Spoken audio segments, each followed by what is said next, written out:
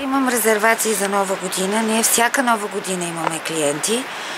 Но тази година пътя се чисти само до гроба на Иван Рилски. Оттам до тук са 3 км. И нямам идея защо не продължават да го чистят. Едва ли ще има някаква толкова голяма економия от тези 3 км. Много добре знаят тук местните, тези, които чистят пътя и всички изобщо, че работиме. Ние просто нямаме друг начин. Винаги трябва да има тук хора, защото трябва да си пазим имуществото. А, условията са такива, ето до вчера беше по минус 6 градуса през деня. През нощта пада и до минус 12. Трябва да наблюдаваме да не ни замръзнат баните, чешмите, водите. В bunгалата имаме по две бани и туалетни, към всяка стая има бани и туалетна. И няма как и сега дори да е не толкова много снега, след нова година ще стане много и най-вероятно ще трябва да идваме пеша, за да си опазваме имуществото. Защото в противен случай ще претърпим огромни загуби и не знам пролета как ще почнем да работим. До сега ние 24-та година започваме тук.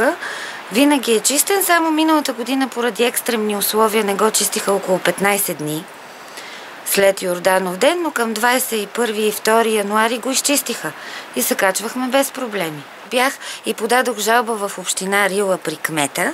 Той ми каза, че не той е институцията, която може да ни помогне. Обаче ние, нашите обекти, нашия и другите тук на поляната са към община Рила. Те обясняват, че не, не, са, не сме регистрирани с постоянен местоадрес, местоживеене. Нашия, нашето местоживеене, примерно град Болград, трябва примерно, да си сменим да станем жители. И каза, че тук няма хора и затова да, не се чисти. затова обяснява, че няма хора и затова не го чистят. А пътя е част от... Републиканската пътна мрежа. Да, Винетка. Да, изискат винетка за пътя, а никакво поддържане. Оправдават се с економии. Какви економии, къде ще чистят, къде надолу няма сняг. Не сме предупредени. Нямам никаква заповед. Даже и устно съобщение нямам. Някаква госпожа е идвала в края на септември, но без въобще да спира. Дъщеря ми е била тук. Само са обърнали с колата и са казали подигравателно зима и идеа, тая година няма да се чисти пътя. Това за мен не е никакво предупреждение. Това даже звучи като подигравка и заплаха. А тук има и други хора. Има, да. Те в са- къщата за гости Цецо и Мария стоят тук по цяла зима, защото и при тях положението е такова. Не могат да остават. Няма кой да, да им стопаниства къщата. То ще замръзне всичко. Както и ние. Нямаме друг изход просто.